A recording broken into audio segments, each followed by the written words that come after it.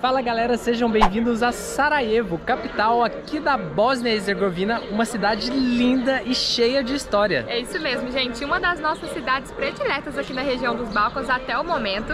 Eu sou a Ana Flávia, esse é o Júnior, nós somos do canal Voa Adiante e no vídeo de hoje a gente vai mostrar pra vocês um pouco dessa cidade encantadora, como o Júnior disse, cheia de história, um lugar que já sediou Olimpíadas de Inverno, que já foi palco de inúmeras guerras e conflitos e que hoje atrai centenas de turistas todos os anos.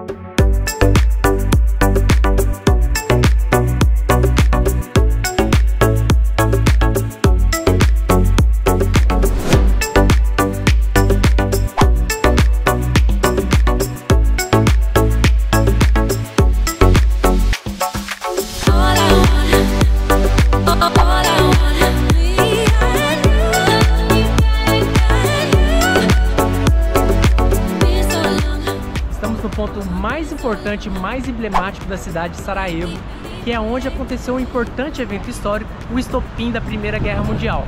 Aqui foi assassinado Francisco Ferdinand, até então arqueduque e também herdeiro do Império Austro-Húngaro, e em 1914 ele foi assassinado.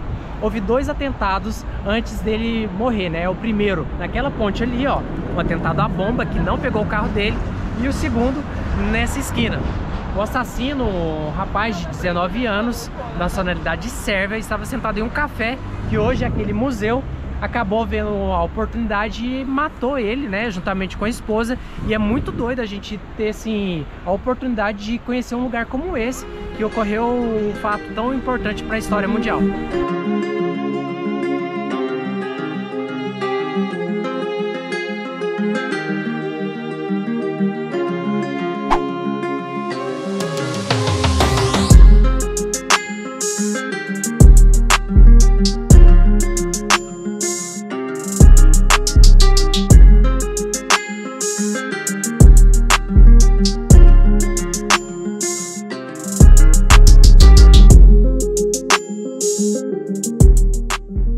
Uma coisa que é tradição aqui na Bósnia é tomar café nesse negocinho aqui, ó, gente.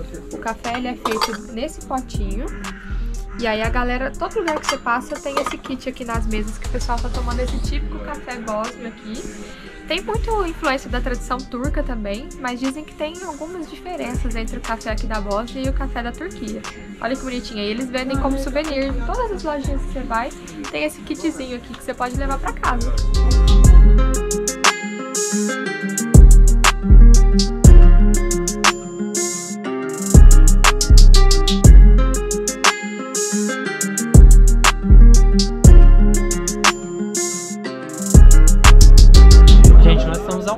praticamente da Praça Bachártica, que é a principal praça de Sarajevo. Vocês conseguem ver aqui atrás, ó, a mesquita também, então fica facinho de localizar, porque se você gosta de comer uma comida local, esse aqui é o lugar. Aqui estão os melhores restaurantes para você experimentar uma comida típica. Estamos em frente à prefeitura da cidade de Sarajevo e ela fica bem em frente aqui, ó, a esse rio que também atravessa um pouco parte da cidade. Como eu sei que vocês gostam de história, eu vou contar como ela foi construída. Até então, o Império Austro-Húngaro ainda dominava essa região e eles definiram por construir um prédio para sediar o governo aqui na cidade. Só que havia várias casinhas nesse lugar que eles escolheram por construir. E o que eles fizeram? Eles pagaram o pessoal para eles construir a casa deles em outro lugar e então eles poderiam fazer o prédio do governo aqui. Só que teve um cara que ele não aceitou isso. Ele, não, minha casa tá aqui é aqui que eu quero ficar. Negociaram, negociaram, até que então ele falou assim, só tem uma condição para eu sair daqui. Vocês pegarem minha casa, tijolo por tijolo, e passarem ela para o outro lado da rua. Foi isso que o governo fez. E essa casa ficou conhecida, gente, como Stubborn House, a casa do teimoso, porque esse cara ele não queria sair dali de jeito nenhum. É aquela casa lá que até hoje está de pé, uma casa branca com verde. Um pouco mais de história sobre essa construção aqui que abriga hoje a prefeitura da cidade de Sarajevo. Ela foi também uma biblioteca, a biblioteca mais importante aqui da cidade. Ela tinha mais de 2 milhões de livros, só que em 1992 um terrível incêndio acabou com ela, perdendo aí praticamente os 2 milhões de livros que tinha. E só então, praticamente 10 anos atrás, ou um pouco mais recente, que eles cons conseguiram é, reconstruir esse lugar e a construção que a gente pode ver hoje. Pessoal, olha só, do ponto que a gente está aqui agora, em relação à prefeitura, o prédio da prefeitura é cerca de 10 minutinhos caminhando até aqui. E aqui é onde saem os bondinhos que vai lá para o alto da cidade, que a gente pode ter uma vista panorâmica. Também a gente pode conferir a pista de bobsled que foi feita para as Olimpíadas de Inverno lá em 1984, que aconteceu aqui na cidade. Foi um grande marco aqui para o país também até hoje. Se você anda nas feirinhas ali, você vê imãs com o mascote que foi das Olimpíadas daquela época. Então foi um evento muito importante. E hoje a gente vai conferir uma parte que ainda restou aqui dessa pista.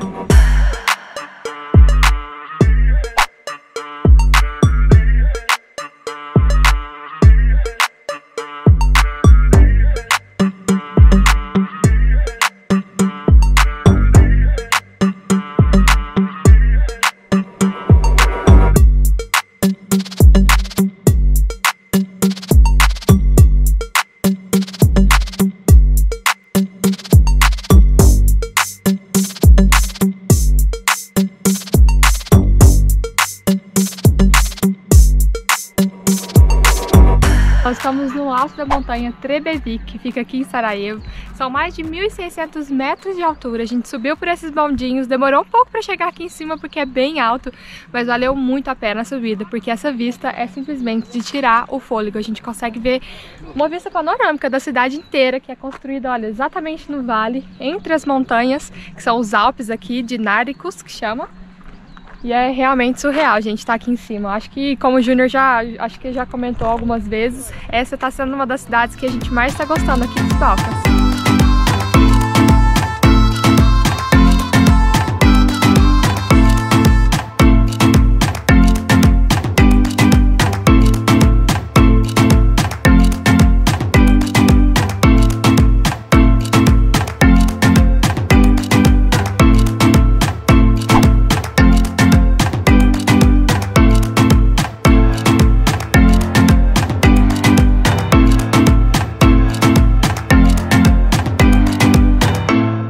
Balcãs. doido, mas muito doido pensar que a gente tá aqui, ó, onde aconteceu uma das provas das Olimpíadas de 1984. Nós estamos né? andando dentro da pista de bobsled, gente. Olha que doideira. E o mais doido ainda é pensar que um mesmo lugar que teve um evento esportivo tão importante, né, com tanta história, foi bombardeado logo em seguida, né?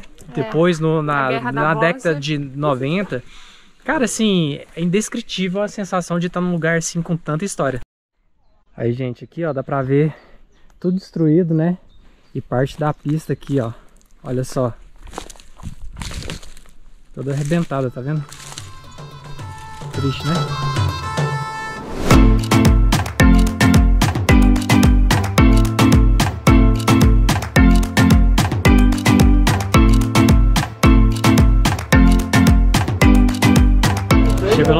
E agora é a hora de experimentar a comida daqui, né? É isso aí, gente. A gente pediu uma carne com recheio de queijo. É um queijo típico aqui também, feito da nata coisa aqui dentro leite. também, não sei, ó.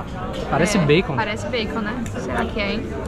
Hum, Batata, hum, um pãozinho típico de sempre, vem creme cheese também. E uma saladinha com queijo feta. Pra acompanhar, né? Vamos ver se é bom.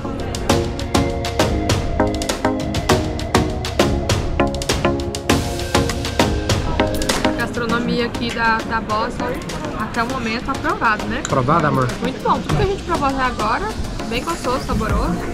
Gostei. Muito bom.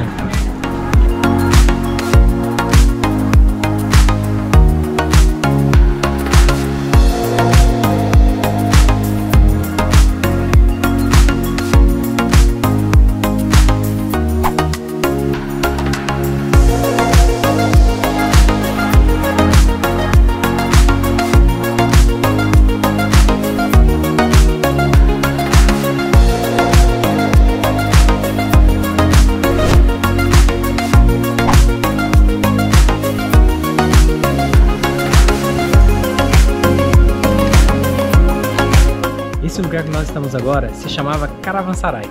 Gente, na época do Império Turco Otomano, ele servia como um ponto de reabastecimento ou até mesmo como ponto de parada para os viajantes e comerciantes, né, que fazia o fluxo do, do comércio de produtos entre o Oriente e o Ocidente. E aqui, ó, vocês podem ver que tem quartos na parte de cima né? E esses quartos eles serviam como como quartos mesmo, né, para eles dormirem. Então os viajantes chegavam, às vezes deixavam os cavalos embaixo ou as suas lojinhas, seus pertences embaixo, e em cima era onde eles dormiam e tinham uma noite gratuita. Olha só, além de tudo, uma noite gratuita, imagina. Muito legal, né?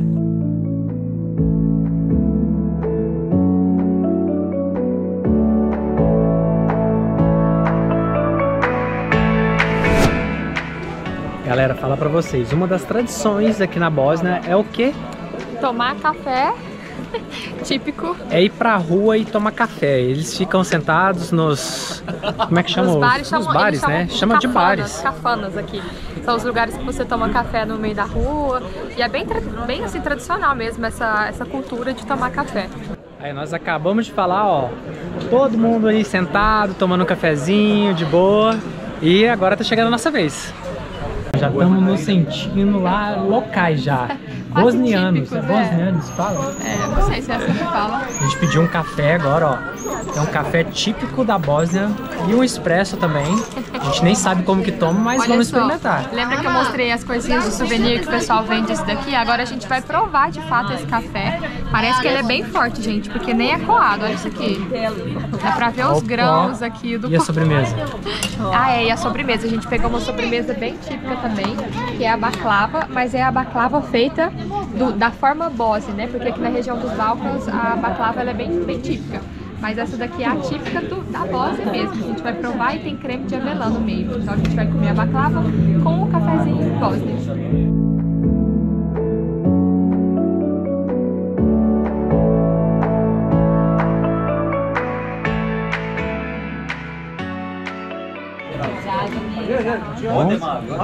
Bom, não.